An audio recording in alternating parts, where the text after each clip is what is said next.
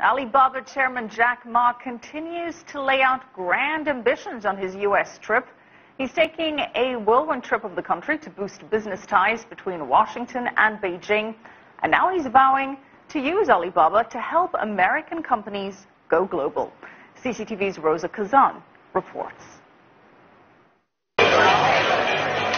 One of China's richest men on a charm offensive in America's heartland, with his focus on two words, small businesses.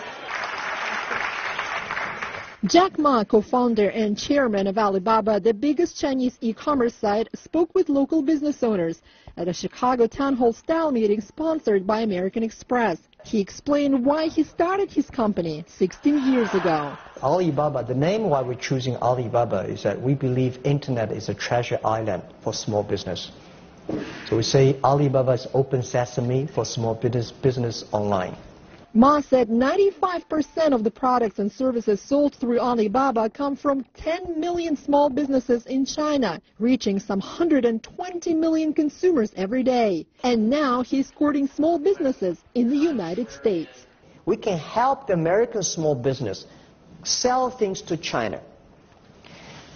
China today, the middle class, has already over 300 million. It's almost like the same, the, the same size of American population. Next to 10 years, China will have more than half billion people become the middle class. So the middle class people, they need good products. Ma said Alibaba is already helping U.S. farmers from Seattle to Alaska to sell cherries and seafood to the Chinese hungry for quality products. And it's only a matter of time, he said, before China becomes the world's biggest importer.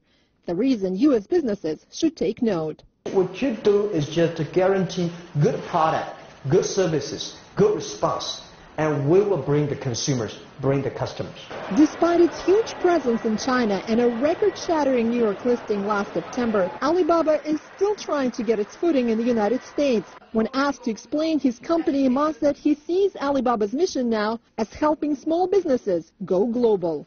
WTO was set for big companies. We want to build up an eWTO set only for small business using the cheapest logistics system, payment system, finding the buyers, supplies across the board. Anybody, if you have ideas, you can sell things abroad. So far, only 2% of Alibaba's $400 million annual sales come from overseas. As Jack Ma wrapped up his speech here in Chicago, he stressed once again that globalization remains Alibaba's next stage of development. He hopes to reach 2 billion customers across the world within 10 years, with 40% of its sales coming from outside China. Roza Kazan, CCTV, Chicago.